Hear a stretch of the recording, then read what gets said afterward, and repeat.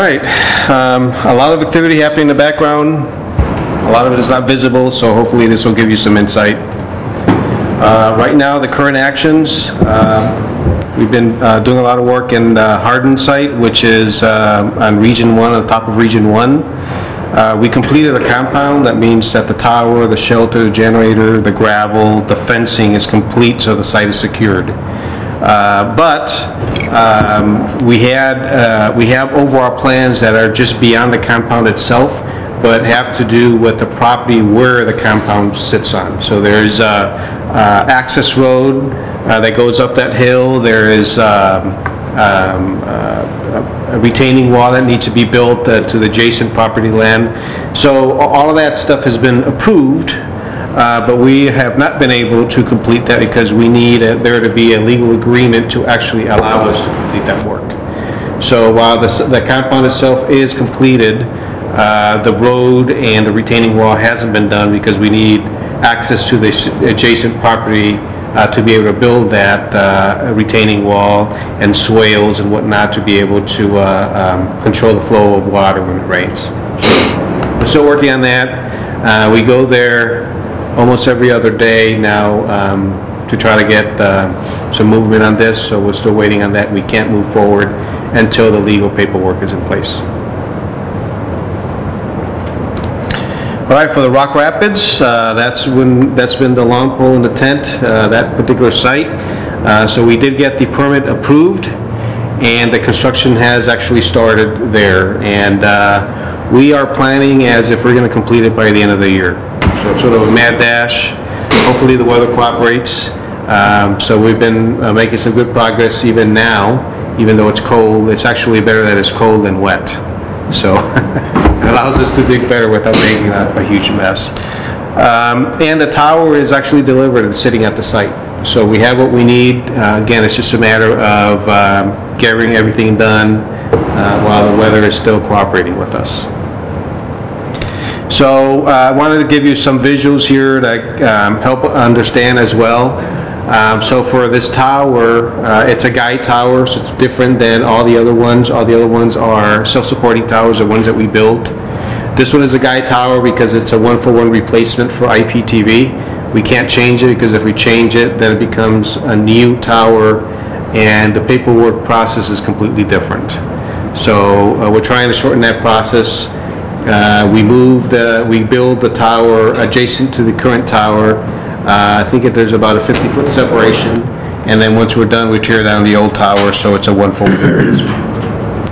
That simplifies the paperwork enormously. Um, What I wanted you to see in this figure here, this diagram, there's a couple of things. Um, And you look at this piece here, I don't know if you can see my, my uh, pointer. This is the foundation for the tower itself.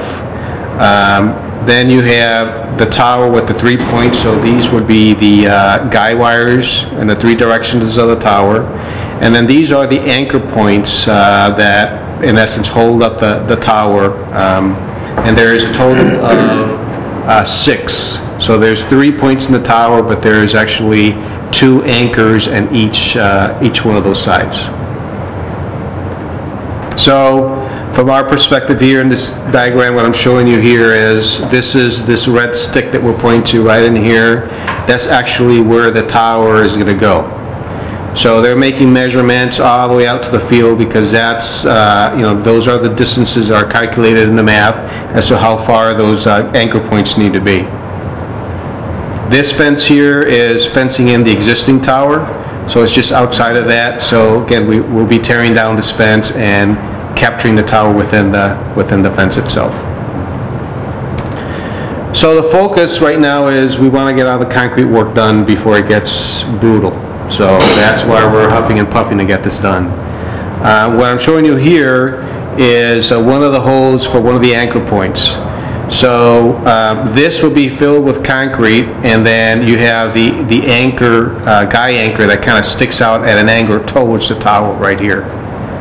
So it's really hard to gauge uh, what that looks like, so I'm trying to provide some perspective. Uh, These are all the rebar cages that get, uh, that already been built, and this is what the anchor, uh, uh, the the anchor is actually going to be attached to. So we pre-built all of those at the site. You know, we dug those holes that I just showed you. And then, um, you know, we carry those and drop those in the in the- in the opening. So the reason I'm showing this here is try to, I'm trying to, for you to visualize how large these anchor points get get buried underground really are. All you really see is that little piece that sticks above the ground with the cables. Well, there's basically equivalent of the size of a car that gets uh, buried underground, uh, about six to eight feet underground, and then you get the, uh, the, uh, the anchor point that kind of sticks out. So it's pretty large. And here, uh, we have it uh, all the way down, and you can see uh, over here, this is the, uh, the actual anchor that attaches to the rebar, and then all this gets filled up with concrete. And there it is filled up with concrete. As you can tell, um, you know, the, the, the concrete is this way, but the anchor is that way, right? And the whole idea is you want to have as much area uh, wide uh, to provide the, the counterweight. So all the stress that gets pulled, it's like you're trying to pull a car sideways. It's more difficult to pull it sideways than if it's straight pointing at you. And that's how these things are built. So we had to go through a lot of work in, uh, in putting those in. There were water lines, of course, in there, so we had to work with the uh, utilities as well. And they told us dig here, and we dug there, and we hit a water line. So we had a route around that, you know, but, uh, you know, it's just, just how it is, nature of construction. But that's why they were there, right, so that it all worked out. We were able to uh, resolve the problem pretty quickly and keep on moving. Uh, Here's just the same picture, a little bit broader perspective, so you can see comparison to the uh, heavy equipment, and you can see the concrete that's poured in there, and you can see how deep you have to go in order to get in there and do that. So uh, all that work is what we're focusing on right now. Again, the the whole goal is we want to pour in all the concretes, all the foundation work, so uh, then we can let all that stuff dry, and then all the other stuff is above ground, which would be a lot easier for us to do, even if it's really cold outside. We have the shelter sitting at the warehouse, we have the generator sitting at the warehouse, so once, uh, once they pour the uh, pads for that, um, then just, it's just a matter of delivering it to the site and dropping it in. So we made enormous progress. Uh, Again, we do have the, uh, the tower itself was already delivered, and it's just laying on the ground, it's sitting there, so that when we, when all this stuff dries up and we're in good shape, we can start uh, building that, that tower up. And again, the goal is still to complete it before the end of the year.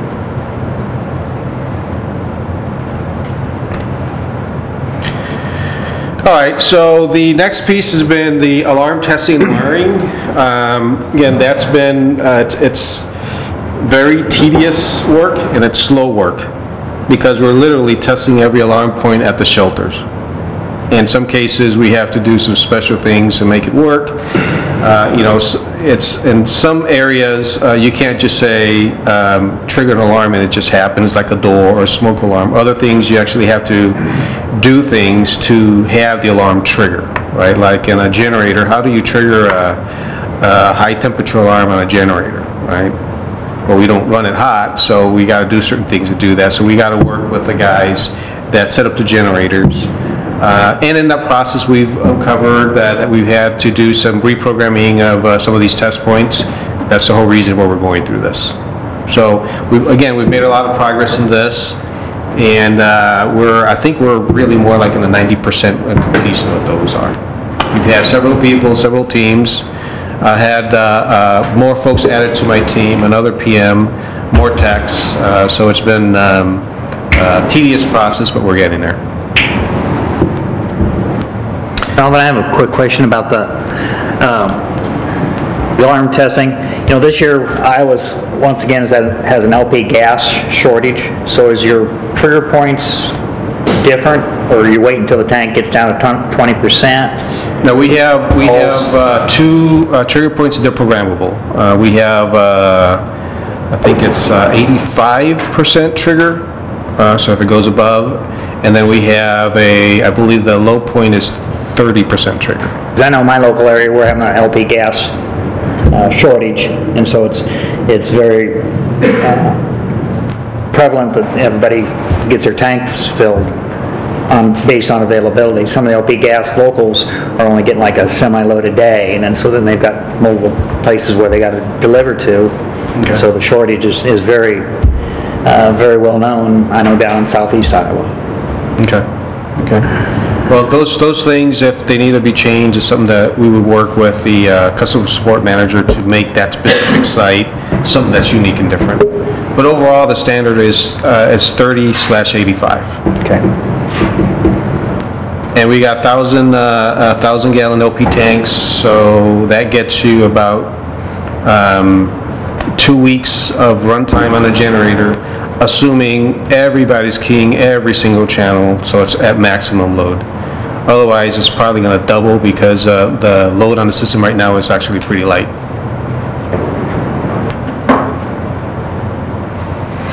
All right, so uh, the next piece is uh, uh, deliver audio quality uh, testing. It's the can you hear me now type testing.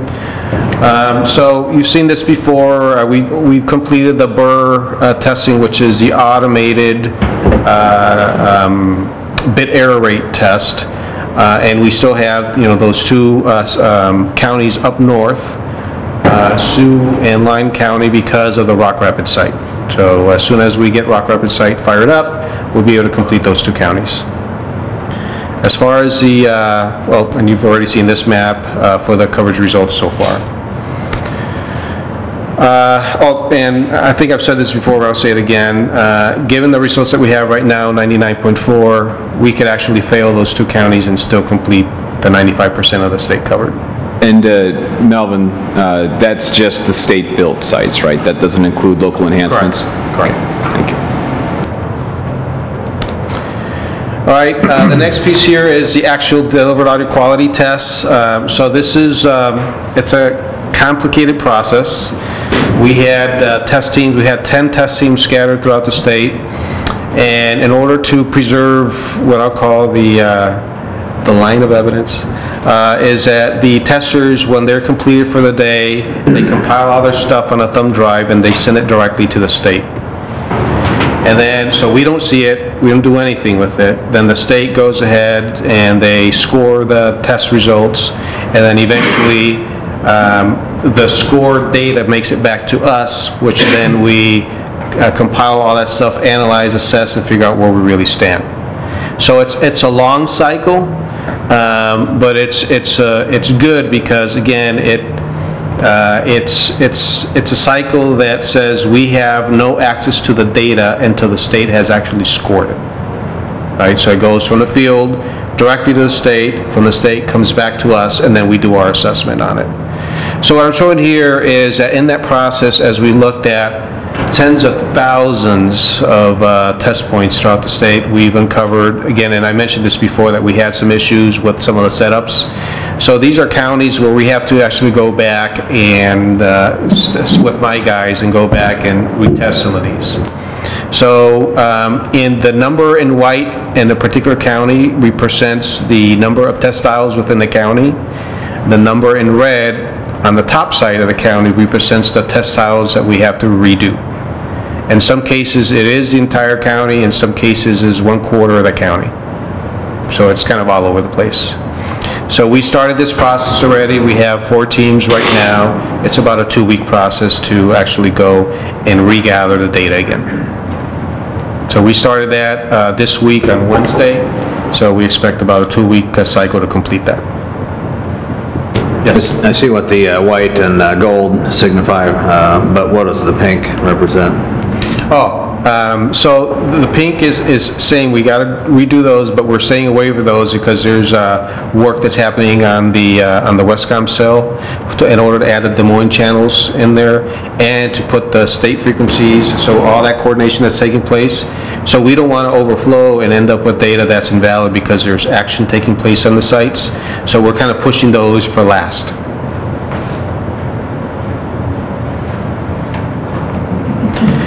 And then as part of that is, what I show here is that these are counties that, uh, again, that the state will score, and wherever there's overlap between the, uh, the counties that we have to retest and the ones that they have to score, we're gonna hold back until we retest them. So it's a long cumbersome process, but again, uh, one of the things I really like, and we've already done it, is that because we have all the raw data, um, you know, when the engineer puts these maps together and says, well, what, this scoring over here looks low, well, let's go ahead and look at it, we can actually click on the audio that was the source audio, and we can click on the audio that was the delivered audio, and we can hear the difference. So it- it's very helpful in overcoming uh, user bias or whatever misunderstanding, but you can really go back in time and literally look at what happened. Which is why these files are huge, very big. All right, so beyond that, uh, we got the uh, uh, uh, complete, the completion of the functional acceptance test plan. That's all the functionality of the system. Um, We are done with the one exception, and that is the uh, digital notification of events.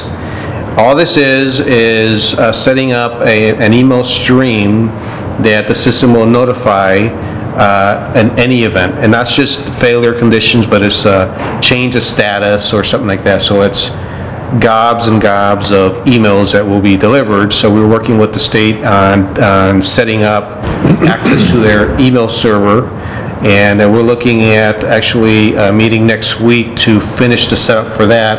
And then, uh, so then the state can get all their emails.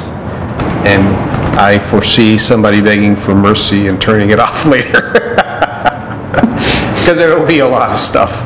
Um, It's been used before, um, uh, so, but again, we're just going to set it up specifically for uh, the state so they can see the functionality. Other than that, all, the entire test plan has been executed and has passed. So what remains? Well, site walks is the last thing that remains. And the reason we haven't done a lot of site walks is because uh, the process that we're in right now is we want to make sure that we have every paperwork, and I mean every paperwork in a folder before we actually go to perform the site walk. And um, it doesn't sound like a lot, but there's a lot of paperwork for each, each one of the sites, and we're in the process of gathering that right now. So uh, we have, uh, we're looking at doing a sample site walk next week, and uh, my PM was telling me that we have about 40 sites that we can actually start doing if the, if the sample walk goes okay, and we determine that everything is the way it's supposed to be, then we can hit go and start moving quicker on, on the rest of them. That's all I had. Questions? All right, thank you.